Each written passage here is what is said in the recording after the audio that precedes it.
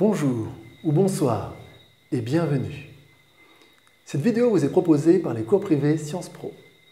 Je suis Monsieur Bertrand et nous allons voir ensemble comment réussir un raisonnement par récurrence.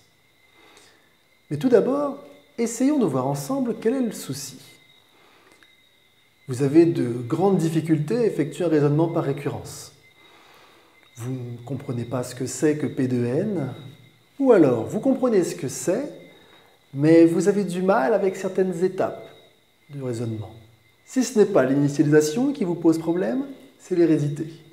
Vous vous demandez sûrement, mais comment fait-on pour montrer que la proposition est vraie au rang n plus 1 Si la récurrence tombe au bac, vous pensez vous tromper, être bloqué, voire être dans l'obligation de sauter la question.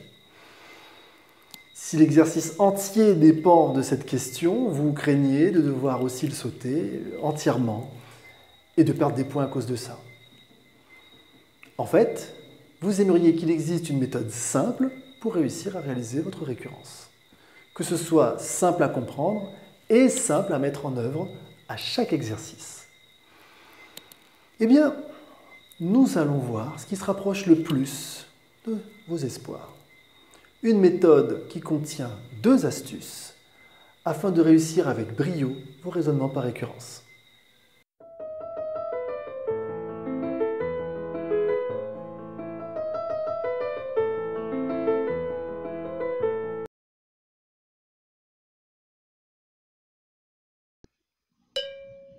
Le principe de récurrence est très ancien.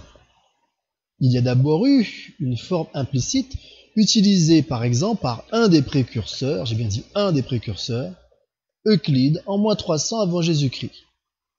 Puis, au fur et à mesure des siècles, il y a eu des améliorations et formalisations par, entre autres, Fermat, Pascal, Maurolico, Dedekind et bien d'autres. Je vous encourage à aller vous renseigner sur ces hommes et leurs recherches, et pas que sur l'Internet. Allez aussi dans des livres, dictionnaires, encyclopédies. Allez voir aussi dans les bibliothèques. Sinon, de nos jours, nous nous référons aux travaux de Peano de 1889 et ses axiomes sur l'ensemble des entiers naturels. On peut noter que le nom actuel est peut-être dû à Poincaré en 1902. Euh, je n'ai pas vérifié cette dernière information. Si vous en trouvez la confirmation, mettez-la moi en commentaire, avec la source évidemment. Rentrons dans le vif du sujet. Qu'est-ce qu'un raisonnement par récurrence? Ou plutôt, quel est l'objectif d'un raisonnement par récurrence? Eh bien, c'est simple. L'objectif d'un raisonnement par récurrence est de démontrer une proposition portant sur un entier naturel. Mais qu'est-ce qu'une proposition Vous allez me dire? Voyons cela ensemble.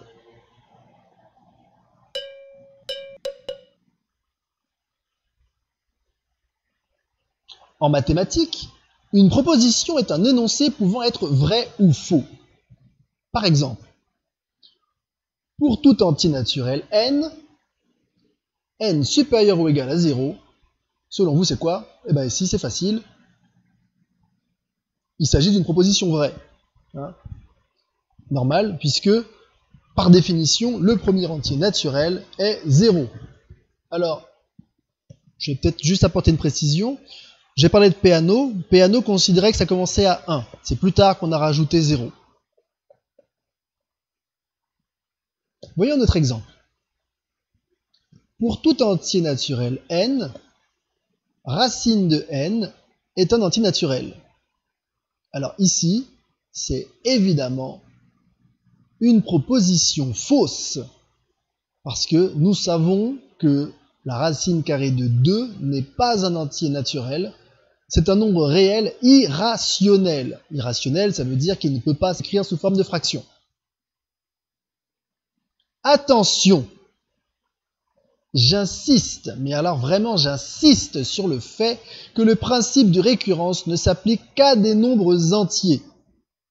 N'essayez jamais de démontrer une propriété portant sur des nombres autres, c'est-à-dire des nombres réels par exemple, avec. Ce c'est pas possible. On ne peut pas démontrer euh, des propositions sur des nombres réels avec le principe de récurrence. C'est pas fait pour ça. Alors, quelles sont les étapes d'un raisonnement par récurrence? Si vous êtes un élève de terminale, vous connaissez normalement déjà ces étapes. Je vais les rappeler pour la forme. Donc, un, un raisonnement par récurrence s'effectue en trois étapes. L'initialisation, l'hérédité, la conclusion. Avant de voir dans le détail chacune de ces parties, essayons d'appréhender ces notions par un exemple simple, mais vraiment simple. Si je dois monter un escalier, tout d'abord, est-ce que je peux accéder à la première marche? Si je ne peux pas, alors je ne pourrai jamais atteindre la dernière marche de l'escalier. Alors pour quelle raison je ne peux pas atteindre la première marche? Ben, Peut-être que je suis en fauteuil roulant, peut-être qu'elle est trop haute pour moi, peut-être qu'il y a quelqu'un devant cet escalier ou il y a un, objet devant l'escalier qui fait que je ne peux pas passer. Ça peut être n'importe quoi. Euh, en tout cas, je ne peux pas atteindre la première marche de l'escalier. Maintenant, supposons que la première marche soit accessible.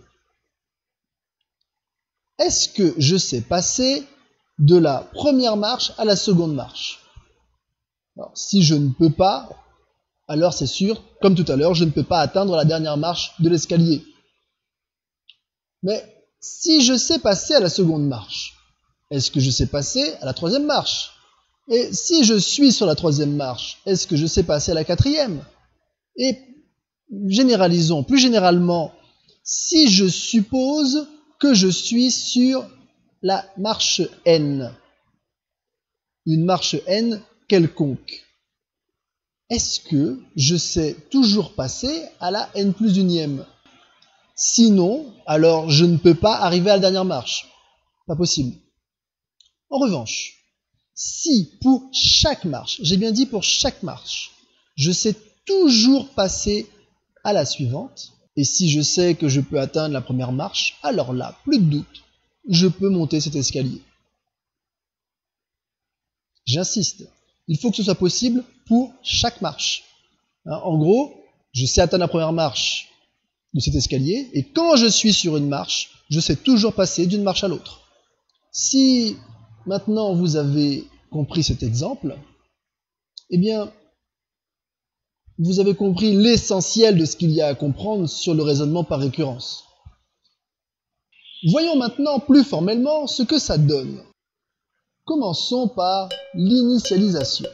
L'initialisation, c'est lorsque l'on vérifie que la proposition est vraie pour une première valeur, en général 0, enfin ça dépend de l'exercice. Cela implique que vous ayez identifié au préalable deux choses.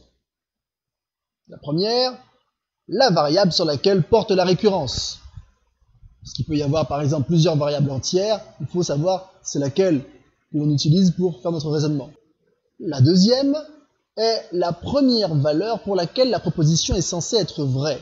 Par exemple, tout à l'heure j'ai dit que c'est en général 0, mais ça dépend de l'exercice. On va vous demander à partir de quel rang la proposition est censée être vraie. À vous de bien identifier. Voyons un exemple.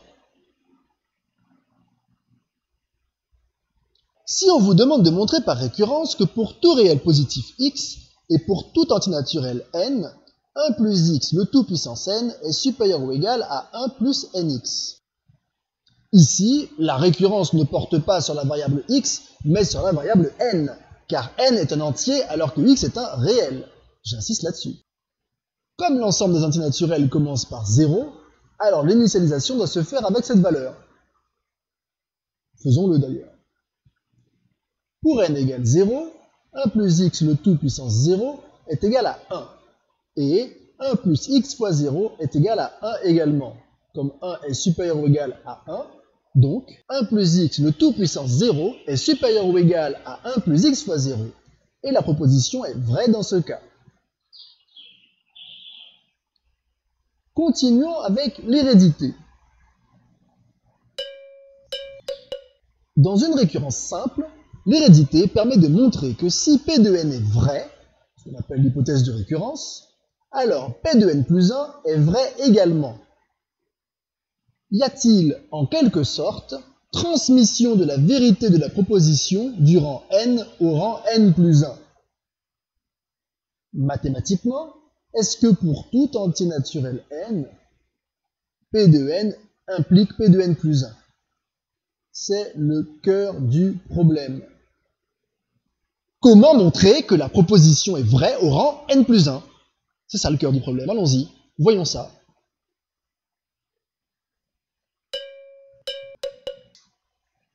Voyons deux astuces pour augmenter nos chances de réussir.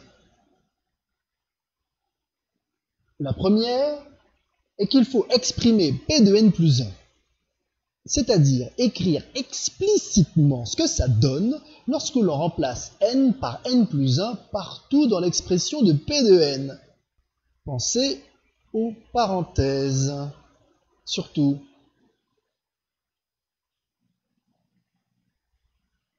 Reprenons notre exemple précédent. Pour tout réel positif, et pour tout entier naturel, P de n est 1 plus x le tout puissance n supérieur ou égal à 1 plus n fois x. On obtient P de n plus 1 est 1 plus x le tout puissance n plus 1 est supérieur ou égal à 1 plus n plus 1 le tout fois x. Établir cela vous permettra de savoir quand vous aurez terminé ainsi, vous écrirez Supposons que pour tout réel positif, il existe un entier n tel que 1 plus x le tout puissance n est supérieur ou égal à 1 plus nx. Vérifions que, dans les mêmes conditions, 1 plus x le tout puissance n plus 1 est supérieur ou égal à 1 plus n plus 1 fois le tout fois x. Vous avez remarqué ici que j'ai pu écrire ma, phrase d'introduction de l'hérédité simplement et je sais exactement ce que je dois obtenir à la fin. D'accord? Voyons maintenant la deuxième astuce. La deuxième astuce est d'observer dans l'énoncé là où les informations que l'on donne sur ce qu'il se passe au rang n plus 1. Parfois, ce sera du tout cuit. Il suffira de recopier l'information, euh, ça ira vite. Mais parfois, il faudra se servir de vos connaissances. C'est très important. Parfois. C'est sûrement dans ces cas-là d'ailleurs que les élèves ont plus de problèmes. C'est lorsqu'il faut se servir de vos connaissances. Ce n'est pas la récurrence le plus difficile, ni même d'exprimer P de n plus 1 en tant que tel. C'est d'avoir les connaissances qu'il faut avant de commencer la récurrence. Ça nécessite d'avoir quand même des bases solides en mathématiques. Reprenons l'exemple. Nous savons que 1 plus x le tout puissance n plus 1 est égal à 1 plus x le tout puissance n facteur de 1 plus x. Ici, nous sommes en plein dans le programme de collège, hein. il n'y a rien de compliqué. J'utilise la bonne vieille formule, a puissance n plus p est égal à a puissance m fois a puissance p. D'après l'hypothèse de récurrence, 1 plus x le tout puissance n est supérieur ou égal à 1 plus n fois x. Ce qui entraîne que 1 plus x le tout puissance n, facteur de 1 plus x, est supérieur ou égal à 1 plus nx le tout facteur de 1 plus x. Et 1 plus nx le tout facteur de 1 plus x est égal à 1 plus x plus nx plus nx au carré qui est égal à 1 plus n plus 1 le tout fois x plus nx au carré. Et comme nous savons que nx au carré est, supérieur ou égal à 0, ce qui est normal puisque n est un entier naturel, donc supérieur ou égal à 0, et x carré est un réel, x est déjà un réel positif, donc x carré est forcément un réel positif, de toute façon, dans R, un, un nombre est toujours positif. Donc dans cette situation, on obtient 1 plus n plus 1 le tout fois x plus nx au carré est forcément supérieur ou égal à 1 plus n plus 1 le tout fois x. Et si vous remarquez, hein, c'est en blanc, ça correspond exactement à ce qu'on avait décrit dans nos astuces. Ici, grâce à nos connaissances, nous avons pu montrer que la proposition est héréditaire, quel que soit n.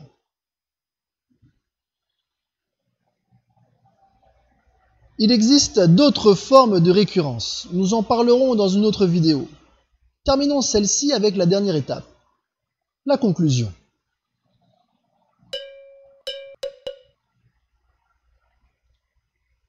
La conclusion permet de dire que si une proposition est héréditaire et qu'elle est initialisée, alors elle est vraie pour toute valeur supérieure à la première. Facile. C'est comme dans mon escalier, si je peux atteindre la première marche et si je sais passer d'une marche à l'autre, quelle que soit la marche, alors je peux aller au bout de l'escalier, je peux aller tout en haut. Dans le cas contraire, si soit l'initialisation n'est pas possible, soit la proposition n'est pas héréditaire, on dira que la proposition est fausse, tout simplement. Voyons ensemble un exercice. Soit la suite un, telle que un plus 1 est égal à un plus 2n plus 1 et u0 égale 0. Démontrer par récurrence que pour tout entier naturel n, un égale n au carré. Alors, on va commencer clairement par l'initialisation. Nous travaillons avec des antinaturels. On vous demande de démontrer que pour tout antinaturel, la un égale n carré. Le premier antinaturel est 0. Donc, pour n égale 0, on nous, donne, on nous dit que u0 égale 0. Et 0 au carré égale 0. comme 0 égale 0, donc u0 égale 0 au carré. Concentrons-nous maintenant sur nos deux astuces. La première, écrivons P de n plus 1. Pour tout entier naturel n, un plus 1 est égal à n plus 1 au carré. Je vais développer, ça fait n carré plus 2n plus 1. La deuxième, l'énoncé nous apprend que un plus 1 égale un plus 2n plus 1. Passons à l'hérédité. Supposons qu'il existe n tel que un égale n au carré. Démontrons que un plus 1 égale n plus 1 au carré. Nous savons déjà que un plus 1 égale un plus 2n plus 1. la deuxième astuce nous l'a dit, nous a permis de l'écrire. D'après l'hypothèse de récurrence, un égale n carré. Ça veut dire qu'on pourra remplacer dans l'expression un par n carré. Ainsi, nous allons trouver un plus 1 égale un plus 2n plus 1, c'est-à-dire n carré plus 2n plus 1, qui correspond à ce que nous avons mis en blanc à la première ligne, dans la première astuce. Ici, on identifie clairement n plus 1 au carré. C'est gagné. Nous passons à la conclusion maintenant la proposition est héréditaire, est vraie pour n égale 0, donc elle est vraie pour tout n supérieur ou égal à 0, c'est-à-dire pour tout entier naturel n. Voilà, c'est tout pour aujourd'hui. Laissez-nous au moins un commentaire, au moins un like, et surtout, abonnez-vous.